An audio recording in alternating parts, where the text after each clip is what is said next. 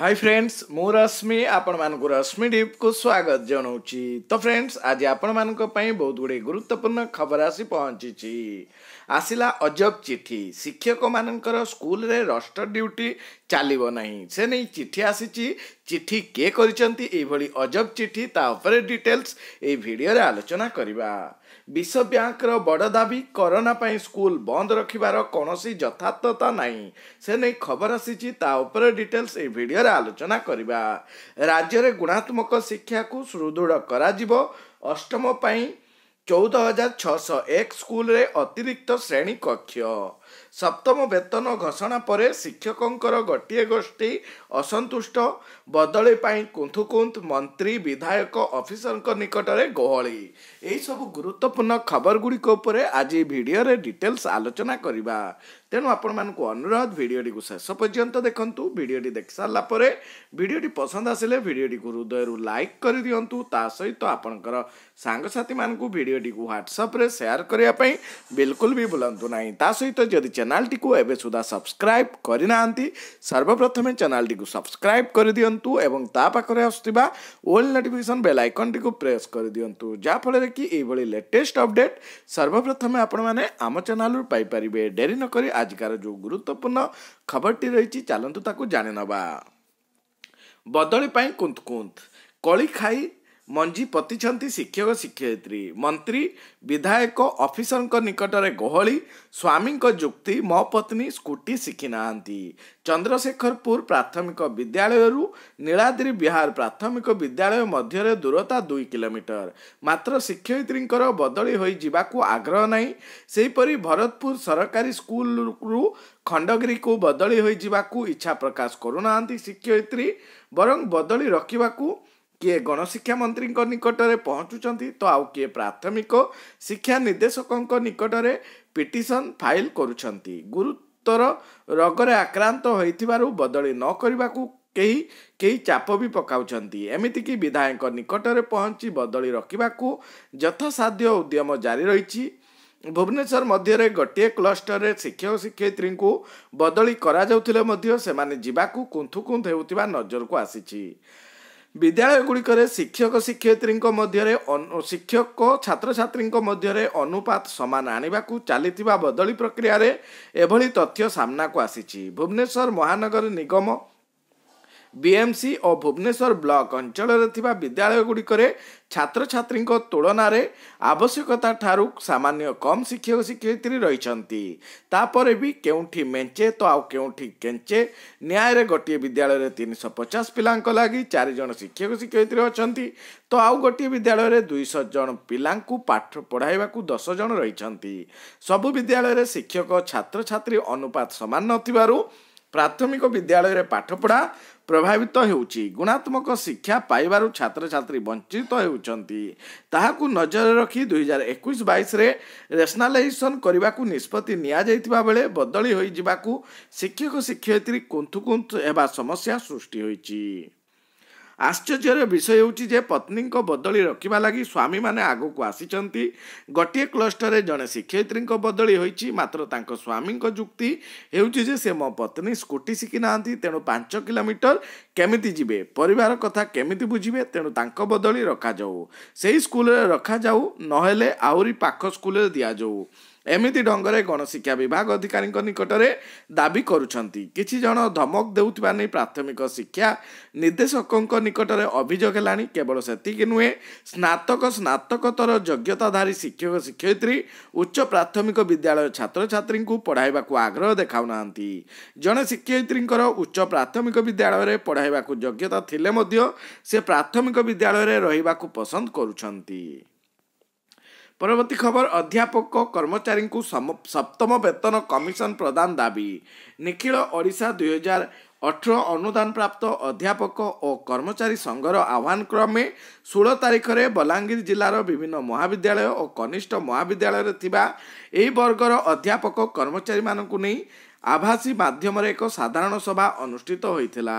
ଅଧ୍ୟାପକ ଡକ୍ଟର ଲିଙ୍ଗରାଜ ମେହେରଙ୍କ ସଭାପତିରେ ସଭାପତିତ୍ୱରେ ଅନୁଷ୍ଠିତ ହୋଇଥିବା ଏହି ସଭାରେ ଜିଲ୍ଲାର ପ୍ରାୟ ପ୍ରତ୍ୟେକ ମହାବିଦ୍ୟାଳୟରେ ଏହି ବର୍ଗର ଅଧ୍ୟାପକ କର୍ମଚାରୀମାନେ ଯୋଗ ଦେଇ ସମସ୍ତ ଯୋଗ୍ୟତା ସତ୍ତ୍ୱେ ଦୁଇହଜାର ଅଠର ଅନୁଦାନ ଆଇନକୁ ସପ୍ତମ ବେତନରେ ସାମିଲ କରାଯାଇନଥିବାରୁ ଅସନ୍ତୋଷ ପ୍ରକାଶ କରିଥିଲେ। ନଗଡ଼ା ରାସ୍ତା ନିର୍ମାଣ ପାଇଁ ଗୁପ୍ତ ଟେଣ୍ଡର। ଠିକାଦାର ସାଜିଥିଲେ ଶିକ୍ଷକ। ଗ୍ରାମ୍ୟ ଉନ୍ନୟନ ବିଭାଗ ପକ୍ଷରୁ ନଗଡ଼ା ସଡ଼କ ରକ୍ଷଣାବେକ୍ଷଣ ଓ ମରାମତି ନାଁରେ ବ୍ୟାପକ ଦୁର୍ନୀତି ହୋଇଛି ବୋଲି ଖୋଦ୍ ବିଭାଗୀୟ ଉଚ୍ଚ କର୍ତ୍ତୃପକ୍ଷଙ୍କର ହୃଦୟଗମ ହୋଇଛି। ତେବେ ଏହି ଘଟଣାରେ ଆଉ ଏକ ଚାଞ୍ଚଲ୍ୟକର ତଥ୍ୟ ସାମ୍ନାକୁ ଆସିଛି। ନଗଡ଼ା ସଡ଼କ ମରାମତି ନାଁରେ ହୋଇଥିବା ଦଶଟି ଗୁପ୍ତ ଟେଣ୍ଡରରେ ଚଉରାଳିଶ ଲକ୍ଷରୁ ଅଧିକ ଟଙ୍କାର କାମରେ ଜଣେ ପ୍ରାଥମିକ ବିଦ୍ୟାଳୟର ଶିକ୍ଷକ ଠିକାଦାର ଥିଲେ ବୋଲି ଜଣାପଡ଼ିଛି। ଫେବୃଆରୀ ସୁଦ୍ଧା ତିନିଶହ ଅଣଲବେ କେନ୍ଦ୍ରରେ ପହଞ୍ଚିବ ପୁସ୍ତକ। ବିଦ୍ୟାଳୟ ଗଣଶିକ୍ଷା ବିଭାଗ ଅଧୀନରେ ଥିବା ସମସ୍ତ ବିଦ୍ୟାଳୟରେ ଆସନ୍ତା ମାର୍ଚ୍ଚ ଏକତିରିଶ ସୁଦ୍ଧା ପ୍ରଥମରୁ ଅଷ୍ଟମ ଶ୍ରେଣୀ ପର୍ଯ୍ୟନ୍ତ ସମସ୍ତ ଛାତ୍ରଛାତ୍ରୀ ପାଇବେ ମାଗଣା ପାଠ୍ୟପୁସ୍ତକ। ଆସନ୍ତା ଫେବୃଆରୀ ଶେଷ ସୁଦ୍ଧା ସମସ୍ତ ଜିଲ୍ଲାକୁ ପାଠ୍ୟପୁସ୍ତକ ରାଜ୍ୟ ସରକାରଙ୍କ ପାଠ୍ୟପୁସ୍ତକ ଉତ୍ପାଦନ ଓ ବିକ୍ରୟ କେନ୍ଦ୍ର ପକ୍ଷରୁ ଯୋଗାଇ ଦିଆଯିବ। ମାର୍ଚ୍ଚରେ ପ୍ରଥମରୁ ଅଷ୍ଟମ ଛାତ୍ରଛାତ୍ରୀ ପାଇବେ। ମାଗଣା ବହି ବିତରଣ ସରିଲାଣି forty four point eight zero percentage ମୟୂରଭଞ୍ଜରେ ସର୍ବାଧିକ seventy two point eight two percentage ବିତରଣ ହୋଇଛି। କଏଦୀ ଓ ଅନୁସୂଚିତ ଜାତି ଜନଜାତି ବିଦ୍ୟାର୍ଥୀଙ୍କୁ ମିଳିବ ମାଗଣା ଶିକ୍ଷା। ଇଗ୍ନ ପକ୍ଷରୁ ନାମଲେଖା ପ୍ରକ୍ରିୟା ଆରମ୍ଭ ହୋଇଛି। ବୟାଶୀ ଶିକ୍ଷା କେନ୍ଦ୍ର ସହ ଛଅ କାରାଗାରରେ ହେବ ନାମଲେଖା। ସପ୍ତମ ବେତନ ଘୋଷଣା ପରେ ଶିକ୍ଷକଙ୍କର ଗୋଟିଏ ଗୋଷ୍ଠୀ ଅସନ୍ତୁଷ୍ଟ। ବର୍ଷେରୁ ଅଧିକ ଦିନ ହେଲା କେନ୍ଦ୍ର ସରକାର ସପ୍ତମ ବେତନ କମିଶନ ସୁପାରିଶ କରି ବେତନ ହାର ଦେଇଛନ୍ତି। ତଥାପି ରାଜ୍ୟ ସରକାର ଅନୁଦାନ ପ୍ରାପ୍ତ ବିଦ୍ୟାଳୟ କଲେଜ ଗୁଡ଼ିକ ଏହା ଦେଇନାହାନ୍ତି। ଏହାକୁ ନେଇ ଦୀର୍ଘ ଦିନ ଧରି ଶିକ୍ଷକ ଅଧ୍ୟାପକ ମିଳିତ ମଞ୍ଚ ଆନ୍ଦୋଳନ କରିବା ଏବଂ ବାରମ୍ବାର କୋର୍ଟକୁ ଦୌଡ଼ିବା ପରେ ରାଜ୍ୟ ସରକାର ଏବେ ଏହି ଘୋଷଣା କରିଛନ୍ତି। କିନ୍ତୁ ଏହାକୁ ନେଇ ଶିକ୍ଷକଙ୍କର ଗୋଟିଏ ଗୋଷ୍ଠୀ କ୍ଷୋଭ ପ୍ରକାଶ କରିଛନ୍ତି। ରାଜ୍ୟରେ ଗୁଣାତ୍ମକ ଶିକ୍ଷାକୁ ସୁଦୃଢ଼ କରାଯିବ ଅଷ୍ଟମ ଶ୍ରେଣୀ ପାଇଁ ଚଉଦ ହଜାର ଛଅଶହ ଏକ ସ୍କୁଲରେ ଅତିରିକ୍ତ ଶ୍ରେଣୀ କକ୍ଷ ହେବ। ଭ୍ରାମ୍ୟମାଣ ବିଜ୍ଞାନ ପ୍ରଦର୍ଶନୀକୁ ଗୁରୁତ୍ୱ ଦିଆଯିବ। କରୋନା ପାଇଁ ଶିକ୍ଷା ବ୍ୟବସ୍ଥା ଗୁରୁତର ପ୍ରଭାବିତ ହୋଇଛି। ଏ ପରିସ୍ଥିତିରେ ଏ କ୍ଷେତ୍ରରେ ସଂସ୍କାର ଆଣିବାକୁ ଲକ୍ଷ୍ୟ ରଖିଛି ବିଦ୍ୟାଳୟ ଗଣଶିକ୍ଷା ବିଭାଗ।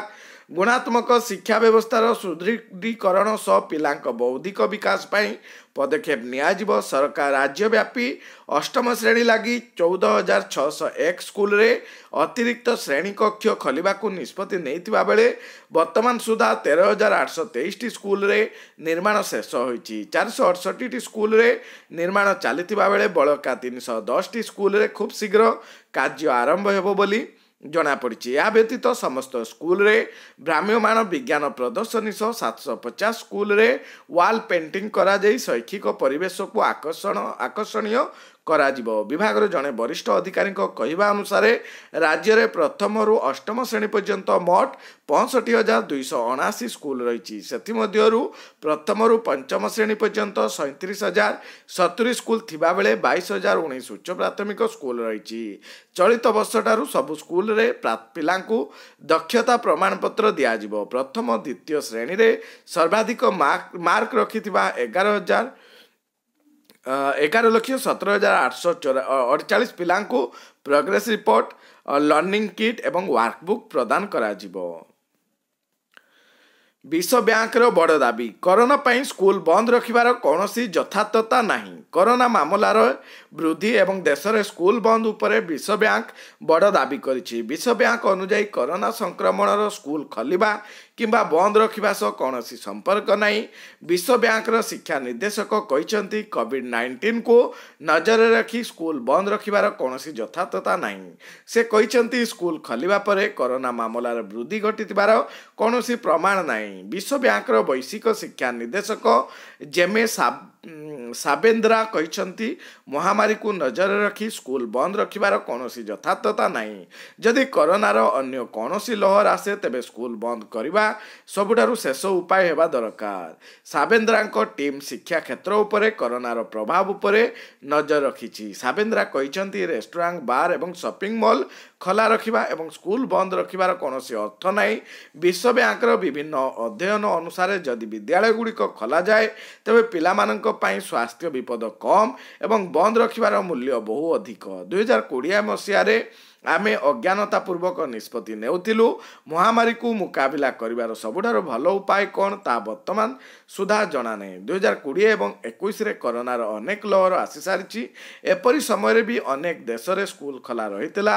ନୂଆ ତଥ୍ୟରୁ ଜଣାପଡ଼ୁଛି ସ୍କୁଲ ଖୋଲିବା ସହ ଭୂତାଣୁର ପ୍ରସାର ଏବଂ ଭୟାବହତାର କୌଣସି ସମ୍ପର୍କ ନାହିଁ। ସ୍କୁଲ ବନ୍ଦ ଥିବା ସ୍ଥାନରେ ମଧ୍ୟ ମହାମାରୀ ବ୍ୟାପୁଛି। ଏଥିରେ ପ୍ରମାଣିତ ହେଉଛି ସଂକ୍ରମଣ ବୃଦ୍ଧି ପଛରେ ସ୍କୁଲ ଖୋଲିବାର କୌଣସି ଭୂମିକା ନାହିଁ।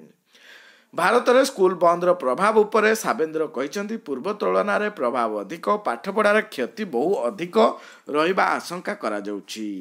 ତ ଦେଖନ୍ତୁ ଗୋଟିଏ ଅଜବ ଚିଠି ବ୍ଲକ ଏଜୁକେସନ୍ ଅଫିସର ଦଶମନ୍ତପୁର କରିଛନ୍ତି। ତ ଯେଉଁଟାକି ତାଙ୍କ ସ୍କୁଲର ସମସ୍ତ ଏଡେଡ୍ ଏବଂ ଅପର ପ୍ରାଇମେରୀ ଗଭର୍ଣ୍ଣମେଣ୍ଟ ହାଇସ୍କୁଲ ସମସ୍ତଙ୍କୁ ଚିଠି କରିଛନ୍ତି। Regarding duties of the school employee during present covid period. ଏବେ କୋଭିଡ଼ ପିରିୟଡ଼ରେ ଯେଉଁ ସ୍କୁଲ ଏମ୍ପ୍ଲୟି ମାନେ କେମିତି ଡ୍ୟୁଟି କରିବେ ସେ ବାବଦରେ। It is come to the notice of understand that many teachers are not attending their duties regularly towards opening of school office and visiting of door step to provide educational support to the students ଏଥିରେ ସେ ଲେଖିଛନ୍ତି ବହୁତ ଶିକ୍ଷକମାନେ school ଯାଉନାହାନ୍ତି ବା school office ଆସୁନାହାନ୍ତି with ତା ସହିତ ଡୋର୍ ଷ୍ଟେପ୍ ଯାଇ ଛାତ୍ରଛାତ୍ରୀମାନଙ୍କୁ ଏଜୁକେସନାଲ ସପୋର୍ଟ ଦେଉନାହାନ୍ତି।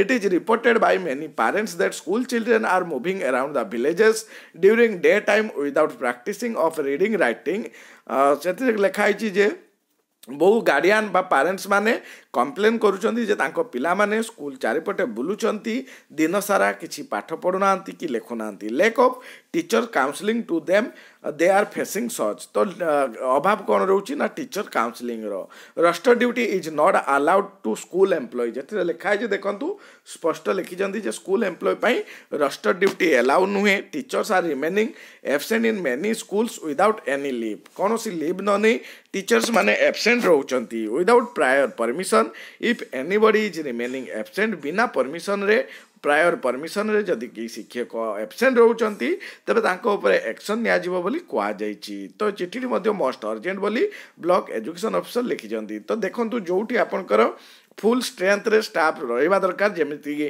ଅଫିସ୍ ଗୁଡ଼ିକରେ ତ କୋଭିଡ଼ କଟକଣା ପାଇଁ ସେଗୁଡ଼ିକୁ ଆପଣଙ୍କର ଫିଫ୍ଟି ପରସେଣ୍ଟେଜ୍ କରାଗଲା। କିନ୍ତୁ ବିଓ ସାର୍ଙ୍କର ଦେଖନ୍ତୁ ଏଇଭଳିଆ ଚିଠି ଏଇଟା କେତେ ଯୁକ୍ତିଯୁକ୍ତ ଆପଣମାନେ ବିଚାର କରନ୍ତୁ। ଏଇଥିଲା ଆପଣମାନଙ୍କ ପାଇଁ ଆଜିକାର ଇନଫର୍ମେସନ୍ସ ଆଜିକା ପାଇଁ ଭିଡ଼ିଓଟି ଏତିକିରେ ଶେଷ କରୁଛି। ନେକ୍ସଟ ଭିଡ଼ିଓ ଦେଖାବା ସେଥିପାଇଁ ବିଦାୟ ଦିଅନ୍ତୁ।